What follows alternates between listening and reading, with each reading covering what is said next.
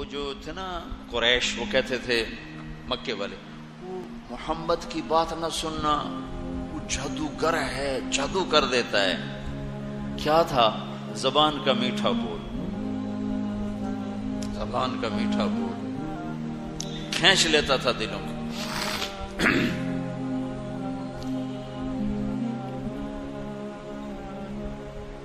ایک بڑے عرب سردار ہیں، زماد۔ ان کو قریش نے اتنا ڈرایا، وہ کہنے کہ میں نے کانوں میں روئی ڈال لی کہ میں اس کی سنوں گئی نہیں۔ تو میں طواف کر رہا تھا، تو میں نے ایک بڑے خوبصورت شکل کا نوجوان دیکھا جو نماز پڑھ رہا تھا۔ تو میں نے پوچھا، یہ کون ہے؟ چمکتا چہرہ، ظاہر الوضاء، ابلج الوجہ چہرہ روشن، نورانی۔ واسع الجبین، ماتھا کشادہ، عظیم الحامہ، سر بڑا، شدید و سواد الشعر سیاہ کالے بال ازہر اللون، کلیوں جیسا چمکتا ہوا رنگ۔ پھول میں پھر بھی تھوڑی چمک کم ہو جاتی۔ کلی، میں چمک زیادہ کا۔ ازہر اللون، کلیوں کی طرح چمکتا ہوا رنگ۔ فی عینیہ دعج، آنکھیں حسین، لمبی موٹی۔ فی لحتی ہی کفافا داڑھی بڑی خوبصورت گھنی فی عنقہ سطع، گردن سراہی دار لمبی، فی صوتی ہی سحل، آواز میں ایک پکڑ پکڑ۔ روب بھی، لطافت بھی، جمال بھی، جاذبیت بھی۔ لم تعبہ فجلہ ولم تزری بھی سقلا ایسے موٹے نہیں تھے کہ بدصورت نظر آئیں۔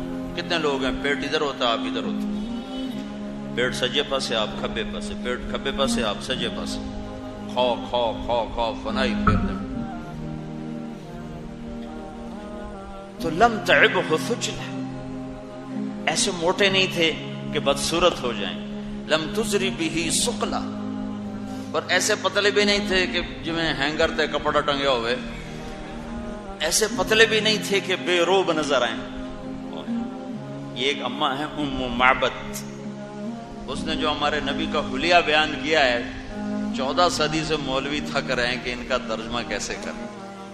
علماء کو اس نے پسینے نکلوا تھے رائی تو رجلن ظاہر الوضاء ابلج الوجہ لم تعبه سجلہ لم تزر به سقلا حسن الخلق وسيم قسيم، في عينيه دعج، في لحيته كثافة، في صوته سحل۔